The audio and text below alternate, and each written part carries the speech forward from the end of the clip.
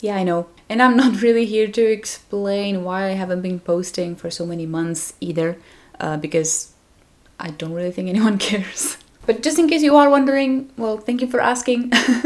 All I'm gonna say is I just had a bit of bad period of time these months, these this year. I just felt a bit lost and didn't know what to do, what I want to do, and what I should do, and all these things. Uh, and I'm not saying I figured it out already, but things are getting much better now. Uh, yes, things are getting better, and there's a cute dog. Things are getting better. I feel much better, and I've been thinking about this channel for some time. Not just the channel, but just me getting back to the art again. And that's what I'm here for, yes. No talking. No talking, but creating something, although I don't know what yet. This morning I was watching my, a few of my favorite art YouTubers uh, while I was having breakfast and then lunch.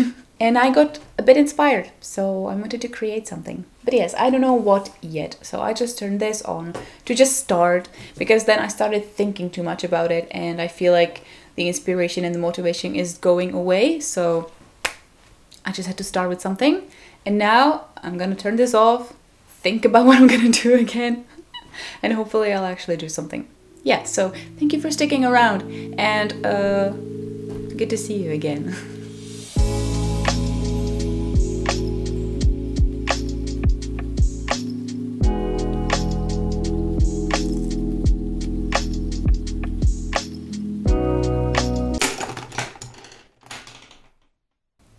as you can see, I've chosen to do some watercolor and I've chosen to do watercolor because it's a technique that I've wanted to uh, master for some time but I just never got into it. I even have some really nice quality watercolor paper, or at least I've read pretty good uh, reviews about this paper. and I got some nice watercolors as well, although I have I have pretty uh, pretty bad brushes, but never mind. We can work with that, I guess. I hope. Yeah, I really love uh, watercolor paintings. It looks so beautiful when people know how to work with watercolors. so I've always wanted to learn how to paint with them, but I'm just I'm just scared. I did some testing a few times, time to time. I did some testing with watercolors, but never got properly into it. So I think today is the time when I'm gonna try again, but properly. So I hope it's gonna turn out well. For the picture I painted, I wanted to try to paint a forest because for some reason I love paintings of forest, especially like magical or fantasy forests. Those are so pretty. But this time I just found a photo of a real forest on Google and used it as a reference.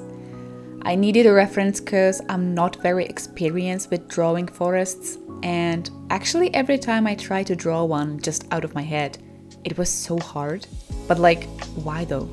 It's just a bunch of trees standing around. It shouldn't be that hard, right? but it actually is, at least for me. For me, it was always hard to get the perspective of the whole scenery right, and also capturing some sense of depth of the forest was a mystery to me because when I drew a forest, it looked like just a few trees standing in a field. You know what I mean? It didn't look deep. And I never knew how to draw or paint a forest that looked like you would have to walk through for hours before getting to the edge of it. And honestly, even with the reference, it was a bit challenging, especially since I don't know how to work with watercolors well, which was another challenge for me. So I knew I had to plan a bit what to paint first and how, and I tried as you could see. I painted the background first and then put down just silhouettes of the trees, but later I realized that I was too careful with the amount of paint. It was too light, but I was scared to put darker colors down right from the start. So I had to go through the background a few times and fill in the gaps between the trees with more and more paint, but hey, I learn.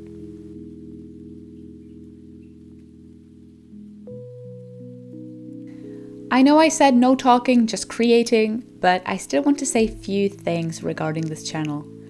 As I said, I've been thinking about it and I do want to continue creating and uploading videos about my creations because it's something that I've wanted to do for so long. I can't promise any schedule. I don't know when I will upload another video. It's simply going to be out when I feel like creating. I do hope though that in the future I will upload more regularly, but until then I still need to sort out a few things. Especially learn how to schedule my time properly and use the most of it. I am terrible at it, honestly. Also, there are going to be some changes on this channel.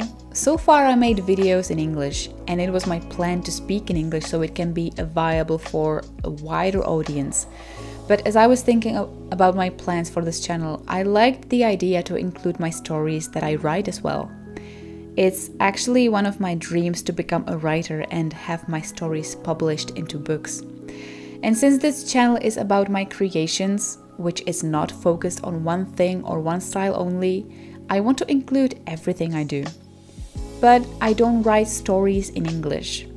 My native language is Czech, and even though I am able to write a story in English, as I did in one of my videos called Angela the Ultimate Character Design, it's more challenging for me, and I feel a bit restricted since my English is not perfect and I need to be more free with writing a story. So when I make a video with another story, it's going to be in Czech. But I will upload it with English subtitles, so please, if you're an English speaker, stick around anyway and give it a try with the subtitles. I know it might not make sense now, so I'm gonna write a story in Czech and then translate it into English just so I can upload subtitles too. Why don't I just stick to English then?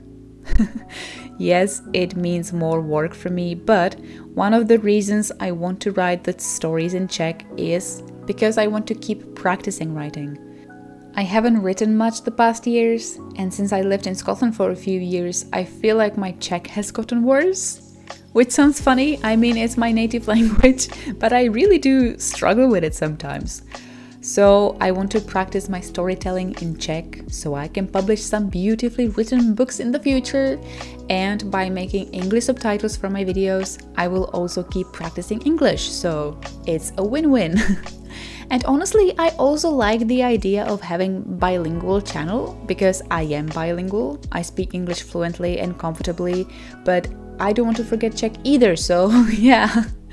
This channel is just gonna be who I am a bilingual, creative person.